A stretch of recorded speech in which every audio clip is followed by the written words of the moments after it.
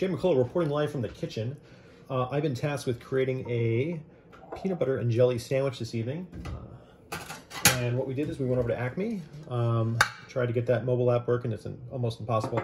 Uh, and then uh, start going down the aisles looking for ingredients for this. Um, the ingredients in the name of the sandwich, so it's, a, it's pretty simple. You can't can't miss it. Uh, peanut butter and jelly. Went through. Serious Eats article came up. Uh, a few other review sites, and we're looking for just of the three best ingredients in each in each ranking.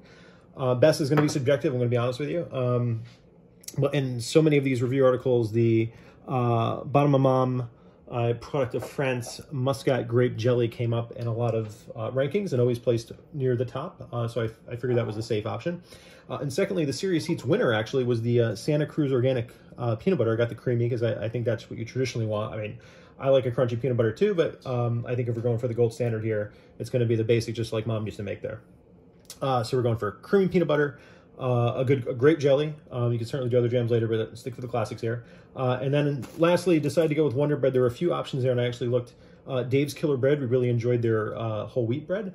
Um, but actually, for their white bread, uh, I was tempted. There was one left, and I was like, maybe this is for me. Uh, but I did some reading, and it was like, yeah, it's good bread, but it's not. If, if you're looking for the, the traditional squishy white bread sandwich that you take to lunch on a school day, um, you really want to. It's, it's not gonna it's not gonna hit that. Um, so that's where Wonder Bread comes in. And this is a pretty classic. This is not a fancy one. This is this presumably the same stuff they've been making forever.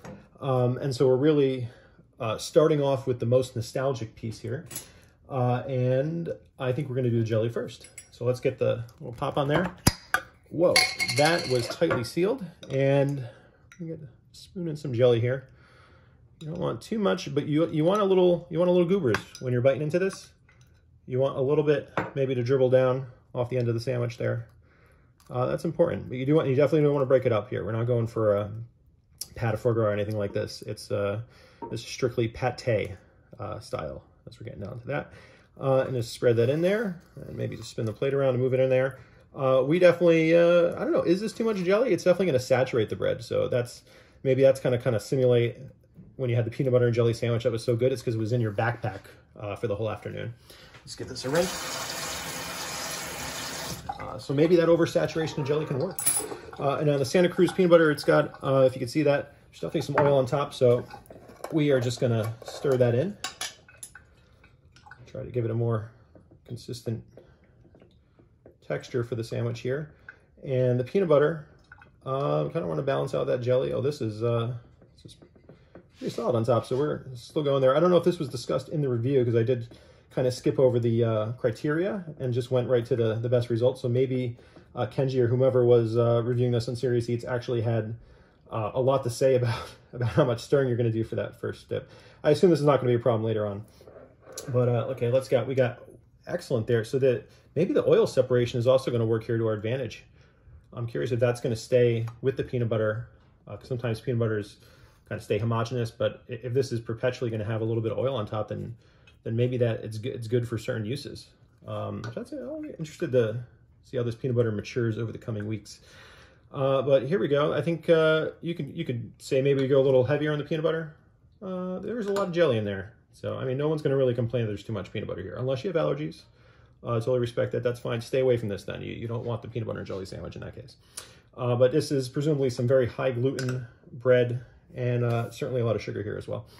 All right, so there's the basic components of the assembled, pre-assembled, uh, sorry, peanut butter and jelly sandwich, and we're just gonna combine them right now into each other there.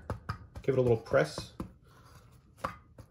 Don't have to break out the panini. This is probably better at room temperature. And let's grab a knife here, and we're just gonna cut that right down the middle. Uh, I know definitely growing up, there was a time where I wanted sandwiches with the crust off all the time. Um, I've even had a few PB&Js like that, but I think here, here we're gonna leave the crust on. This would probably be the first way I would have been introduced to the sandwich as a kid. And that is peanut butter and jelly sandwich. Jmikola reporting live from the kitchen. Um, if, you've, if, you've, got a few minutes, take the time, make it. Uh, I'm sure this um, will be great. Uh, again, unless you have a peanut allergy, cannot stress that enough. Stay away from the sandwich. Have a good night.